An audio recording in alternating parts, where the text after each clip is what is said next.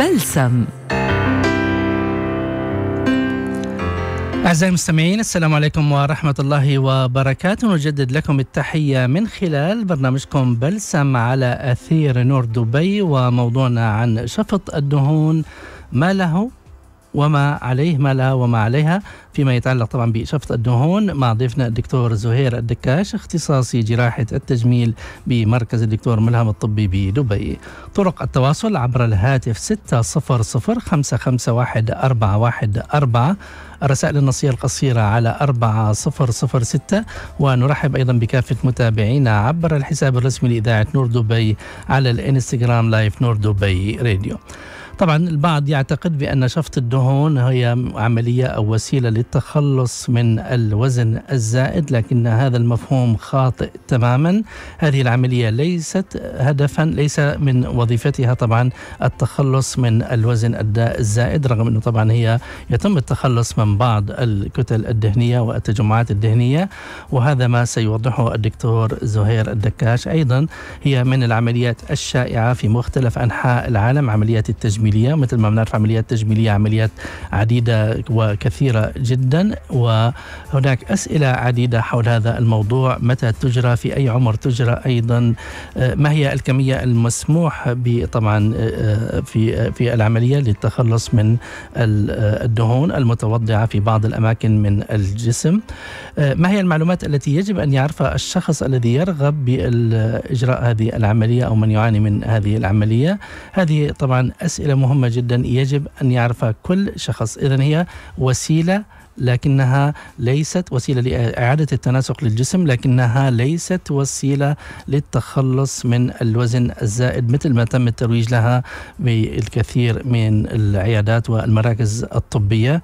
وطبعا هناك كمية من الدهون التي يمكن أو يسمح بشفطها في العملية الواحدة لكن هناك للأسف بعض أطباء يقومون بشفط كمية أكثر وربما يقومون أيضا بإجراء مثل هذه العملية في أماكن لا تستوفي الشروط الأساسية التي توفر معايير السلامة للمرضى. لذلك نسمع من حين إلى آخر في بعض الدول وفي بعض العيادات أن هناك مريض قد توفى أو شخص قد توفى جراء مثل هذه العملية التي تجرى يوميا وبأعداد كبيرة جدا في مختلف أنحاء العالم. إذا من هو الشخص المناسب؟ من هو هو المريض المناسب لإجراء عملية شفط الدهون. مع ضيفنا الدكتور زهير الدكاش اختصاصي جراحة التجميل بمركز الدكتور ملهم الطبي بدبي. دكتور زهير السلام عليكم. السلام عليكم ورحمة الله. أهلا دكتور بسام يا هلا فيك. طبعا دكتور زهير كنت أتكلم ما بعرف إذا كنت معي على الهواء وتسمعني إنه هي ليست وسيلة للتخلص من الوزن الزائد. هي وسيلة طبعا لإعادة التناسق لبعض الأماكن بالجسم. والسؤال من هو إن صح التعبير المريض أو الشخص المناسب الذي يمكن أن يطلب أو يطلب منه شفط الدهون؟ أول شيء شكرا لك دكتور بسام. الواقع إنه أنت حطيت إيدك على النقطة هيك الحساس بالموضوع هذا. يعني في خطأ شائع أو شيء شائع بين كل الناس إنه عملية شفط الدهون هي عملية للتخلص من الوزن الزائد هذا خطأ شائع وخطأ طبي كبير نعم الحقيقة العملية هي بدايه الثمانينات آه، التكنيك الجراحي آه، ظهر وهي كانت عملية وظهرت العملية هي للتخلص من الدهون المتوضع في أماكن محددة بالجسم. نعم. هي لإعادة تشكيل الجسم، يعني إعادة تصحيح contour الجسم، ما هي للتخلص من الأوزان الزائده. نعم. بهالسبب هذا في شروط كثير مين هو الشخص المناسب اللي بيخضع أو بيتحقق العملية النتائج الجيدة أو المرجوة عنده.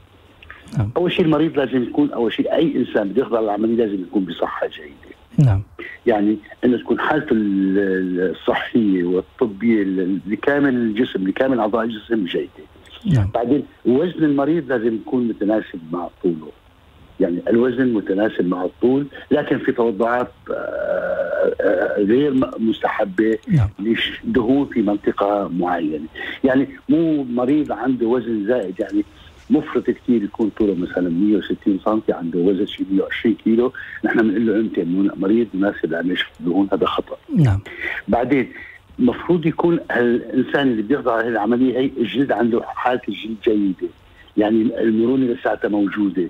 مع إنه الجلد آه، مرونته راحت نعم. متهدد بكمية كبيرة عضلاته كثير ضعيفة. هذا بيكون غير. بعدين الشيء الثاني إنه المريض بيكون غير مدخن. يعني المريض بيدخنين بشدة إنه مرضى سيئين يخضعوا لا العملية والعمليات كثير وخاصة العمليات التجميليه نعم. هذا يعني هذا أهم شيء إنه تقدير مين هو المريض المناسب. بعدين إنه المريض لازم يكون عنده يكون هو بذهنه المريض عنده تقدير جيد لحالته وشو بده. يعني في أحيانا بيجيك المريض بالعقل تبعه ما عنده تصور كامل بالوضع أو شو شو بده نعم. هذا المريض مهما عملت له شو مهما كانت النتيجة رح تكون غير مرضيه بالأساس لأنه ما فيها تصور ما عنده التصور أو الذهني لحالته الحالية نعم. النتائج اللي ممكن يحصل عليها فالطبيب لازم يناقش معه تماما يوضح له الصورة تماما شو وضعه شو ممكن يحصل بعدين يسوي العملية إما إذا كان المريض عنده تشويش بوضعه تشويش بالحالة المرجوه أو بالنتائج المرجوه راح تكون العملية نتائجها أسوأ بالنسبة للمريض مع إنه راح تعطي نتائج يعني ممكن نعم. تعطي نتائج بس بالنسبة له ما ما أعطيك شيء نعم. نحن طبعا حينما نتكلم وحينما تتكلم حضرتك دكتور زهير عن يعني النتائج لا نقصد فقط النتائج من ناحية المظهر ومن ناحية الشكل وإنما نقصد أيضا من ناحية السلامة لأنه ليس مهم أن أخرج وجسدي يعني بمعنى متناسق وصار عندي بعدين مشاكل أو لا سمح الله تعرضت إلى مشاكل أخرى. لذلك دائما نقول من حق المريض أن يسأل الطبيب وأيضا أريد أن يعني أن تجيب عن هذا السؤال دكتور. يعني لنجاح أي عملية لنجاح أي خطة علاجية لابد أن يتوفر عدد من العناصر حتى الطبيب المناسب والمريض المناسب والحالة المرضية المناسبة وأيضا طريقة العلاج المناسبة. هل يمكن أن تجرى مثل هذه العمليات؟ شفط الدهون طبعا هو مصطلح واسع قد لا يعرفه يعني المستمع أو المستمعين تماما. هل يمكن أن يجرى في عيادة الطبيب؟ في الحالات البسيطة جدا نعم. موضعة نعم. ممكن تحت تقدير موضعي ممكن إجراء الحالات يعني نعم. مثلا عن الدبل شين أو بنسميها تراكم الدهون تحت الذقن الذقن المزدوجة يعني نعم. ممكن أي عملية بسيطة ممكن نعم لكن للأسف نحن نشوف إنه في عمليات أحيانا واسعة دائما أي عملية واسعة بتتناول مساحة كبيرة من الجسم حتى لو كانت ممكن تجي تحت التقدير الموضعي بتكون فيها نسبة المخاطر أكثر. بهيك حالة يفترض يكون موجود أول شيء غرفة عمليات مجهزة عقيمة وجود طبيب تخدير بيساعد حتى إن كانت مساعدته ما يكون تخدير عام نوع من التهدئة والاعطاء السوائل للمريض كلها هي ممكن تساعد. يعني نحن لازم ناخذ كل نحط بذهننا كل الاحتياطات اللازمة لسلامة المريض. هو أهم شيء دائما هو سلامة المريض العمل الجراحي فيما بعد العمل الجراحي. نعم أهم شيء دائما أن يخرج الطبيب والمريض يعني سالمين تماما من العيادة أو من المركز الطبي أو المستشفى وليس فقط أن يخرج الطبيب وطبعا يبقى المريض يعاني أو لا سمح الله يعني تحدث وفاة أو ما شابه ذلك. وطبعا للأسف في حالات صارت رغم أنه هي عملية بسيطة وتجرى بكميات يعني بأرقام كبيرة جدا أو أعداد كبيرة جدا في مختلف أنحاء العالم. هي من أكثر تقريبا عمليات التجميل شيوعا تماما نعم. تماما نذكر بطرق التواصل على الهاتف 600 551 رسائل النصية القصيرة على 4006 وأيضا عبر الحساب الرسمي لإذاعة نور دبي على الإنستغرام لايف نور دبي راديو. وضيفنا الدكتور زهير الدكاش اختصاصي جراحة التجميل بمركز الدكتور ملهم الطبي بدبي. طيب دكتور في من الأسئلة يعني لو كان لدى الشخص سواء كان رجل أو آه، أنثى سيدة لو كان لديه يعني أكثر أكثر من في منطقة البطن. هناك توضع للدهون وأيضا لديه مثلا توضع للدهون في أماكن أخرى من الجسم. هل يمكن أن تجرى كل هذه العمليات في يعني في يوم واحد؟ طبعا هو يعني إجراء العمليات كلها ممكن تجرى في يوم واحد خاصة إذا في توضعات متنوعة في أماكن مختلفة. نعم. فممكن ممكن ما في مشكلة ابدا. المهم أنت المهم إنه قديش كميه الدهون قديش المدة رح يوضع فيها تحت المريض تحت العمل الجراحي. بعدين الاستطباب موضوع بشكل جيد. المريض يعني أنت قيمت المريض وزنه مناسب ومع طوله مناسب للعمل الجراحي. جلد المريض ما عنده ترهلات شديدة. ما عنده مشاكل صحية مترافقة مع نعم. مريض. وبعدين وضوح الرؤية للمريض عنده وضوح في الرؤية للعمل الجراحي اللي راح يجريه والنتائج اللي بده إياها والنتائج المرجوة أو التوقعات اللي ممكن توقعات العمل الجراحي. نحن يعني لازم نحط المريض بالصورة تماما. ما نعطيه نعم. توقعات أكثر بكثير من الواقع. وبعدين ما نعطي توقعات أقل من الواقع. نعم. تكون آه، يعني نحن إجاباتنا أو الصورة للمريض متناسبة تماما مع النتائج اللي راح يحصل عليها. نعم. يعني ما نعطيه دكتور ما, ما نوضح نورجيه أو يعني نخليه يشوف الصور اللي هي عادة من خلال الكمبيوتر من يعني لمرضى ربما من دول أخرى وأماكن أخرى.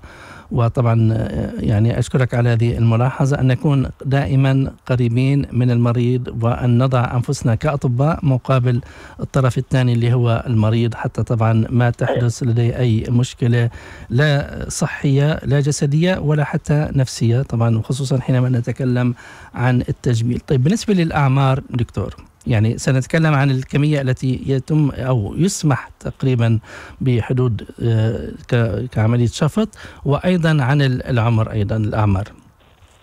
هلا آه أنا خليني أوضح فكره أول شيء نحكي معاه بس قبل ما الشيء بده يدخل في البوطه وحكيت عنه إنه الصورة اللي بتظهر على الكمبيوتر دائما نحكي للمريض. الصورة اللي بتظهر على الكمبيوتر ليست هي الصورة اللي راح ياخذها المريض. نعم. مستحيل. نعم. لكل مريض وضع معين. يختلف عن المريض الثاني. نعم. بعدين ما ما يقارن الإنسان اللي بيحضر العملية مع إنسان دائما لكل حالة خصوصياتها. يعني نحن على على الكمبيوتر بالفوتوشوب بالبرنامج ممكن نعطي نعطي أي شكل. نعم. لكن هالشكل هذا ما راح يكون ابدا هو الشكل اللي راح مطابق للحقيقه نعم. تماما هذا لازم تكون واضحة. أول شيء العمر المساوي طبعا العمر يعني نحن مريض لعملية شفط الدم بدها تكون أول شيء بالعمر العمل الجراحي. ما تكون تحت مثلا 18 سنة ما تكون فوق ال 60 سنة يعني يعني المريض ما عنده مشاكل يعني نحن بنعرف إنه بعد 60 سنة مريض بيدخن مريض دنيا عنده مشاكل صحية ثانية أي تعرض لعمل جراحي غير ضروري ممكن يكون نسبة الاختلاطات والمشاكل الصحية بعد العمل الجراحي تزداد. هذا لازم نوضحه تماما. نعم. الغاية هي الغاية تجميع إعادة تشكيل الجسم اسمه كونتورينج يعني نحت الجسم. نعم. نحت الجسم معناتها الجسم راح يكون لازم يكون سليم. مقويته العضلية جيدة كثير يعني أنت تعمل شفط دهون. لانسان عضلاته ضعيفة كثير وجلد مترخص النتائج ما راح تكون مفيدة. ولا راح تكون مرضية وبالعكس يمكن تعطي نتائج أسوأ مما كانت عليه سابقا. نعم. هذا اللي بدي أنا طبعا يعني نحن الغايه من شفط الدهن إزالة الدهون تحت الجلد لجلد كويس. لأن الجلد يوم يكون كويس مرونته نعم. كويسة راح ينكمش وراح يرجع لوضعه هذا بيساعد يعطي نتائج كثير ممتازة. بس بالأساس يوم تكون الجلد وضعه غير جيد. مترهل كثير وبسن متقدم كثير نحن نح إزالة الدهون رح تعمل ترهل شديد. معناتها المريض بحاجة إلى عمل جراحي تالي هو إزالة الجلد الزائد. هذا كمان لازم نوضحه تماما يتوضح بالنسبة لل نعم. يعني طبعا أفضل النتائج يوم تكون المريض في العمر بيتراوح بين بين ال 16 لل 50 سنة. هي أفضل النتائج. لكن إنه ما ممكن نجريها بعد ال 50 طبعا ممكن نعم. بحالات معينة. ما في مشكلة ابدا. نعم. كنتائج مرجوة أفضل لأن الجلد بيكون بهالحالة هي الياف المرنيه الياف الكولاجين بتكون جيدة عنده الجلد إنه يعني أنا بشبه دائما الجلد مثل البالون ينفخ تنفخ البالون بشدة نعم. بتلاحظ انت بيتحرك بتفسخ. بتروح الهواء ما بيرجع البالون لوضعه الطبيعي. بينما إذا نفخته إلى حد مع البالون وتمت مرونته فيه بتفرغه من الهواء بيرجع لوضعه الطبيعي والجلد هيك تماما. نعم. هذا بالنسبة طبعا للعمر ودائما طبعا لابد أن يكون هناك تقييم كامل وشامل للشخص للمريض ومن ثم طبعا اتخاذ القرار. بالنسبة للكمية دكتور. يعني هذا الكمية نحن دائما الكمية أي كمية من الدهون عم تشفر في كمية من الدم رح يروح معها كمية من الشوارد رح يروح معها. طبعا إذا تجاوزت الكمية فوق ال 10 لتر أو ال 15 لتر فمعناتها رح يكون هناك في عنده نقص في كمية في في في سوائل الجسم الخضاب نعم. وفي عنده نقص سوائل في عنده رح يكون اضطراب بالشوارد بالجسم. هذا بيحتاج لمراقبة أكثر وعلاج أكثر فيما بعد العمل الجراحي. وأحيانا إذا كان الشفط جائر بكميات كبيره ممكن يدخل المريض بحاله اضطراب شوارد وصدمة معينه صدمة للمريض. فنحن نكون كثير حذرين. رغم إنه أنواع جديدة من اللي بيروج إلى إنه بالفيزر أو بالليزر بتخفف كمية الدم. بس مهما كان دائما كمية السوائل اللي, بتخ... اللي بيفقدها الجسم أثناء العملية بحالة شفط كميات كبيرة راح يكون الاختلاطات أكثر. هلا بالاساس هي العملية مو مو لانقاص وزن نعم. الجسم. هي دائما العملية المثلى العملية هي مو انقاص وزن نعم. نعم تناسق نحت الجسم وتناسق. تناسق نعم. نحت الجسم. نعم. فنحت الجسم معناتها الكمية السيف أو الأمان اللي بحدود الأمان اللي ممكن نشفقها من 3 إلى 5 لتر. نعم. نحن كل ما زدنا كل ما دخلنا في مجال الخطر الخطر نعم. أكثر. نعم. ولذلك يعني في بعض الأحيان للأسف تحدث مخاطر وتحدث وفيات جراء مثل هذه العملية الشائعة واللي هي عملية بسيطة. تماما في نعم. حالات كثير من الوفيات نعم. تكون عم تكون في إفراط في كمية الدهون المستهلكه لأن أنت معناتها آه وشي آه نزلت الخضار بشكل سريع عملت اضطراب الشوارد اضطراب الشوارد اللي حتى تأثر على وظيفة الكلى كليتين في الجسم. تدخل بحالة صدمة شوك. آه الخروج منها بيكون كثير آه، مشكلة. نعم. بالإضافة إلى زيادة الاختلاطات اللي ممكن تحدث مع الأنواع من العمل الجراحي اللي هي ممكن الصمات الرئوية آه، يعني كلها مضاعفات خطيرة يعني حقيقة خطيرة مضاعفات نعم. خطيرة. لذلك نقول يعني التقييم دائما مهم جدا ومثل ما ذكرت يعني ليس فقط فيما يتعلق بالتدخين وإنما بالأدوية المميعة للدم والأعشاب التي تساهم في تميع الدم وغير ذلك هذه يجب أن يمتنع عنها المريض على الأقل لعدة أسابيع. طبعا يحددها الطبيب وتختلف من حالة إلى أخرى. فاذا التقييم هام جدا بهذا الموضوع.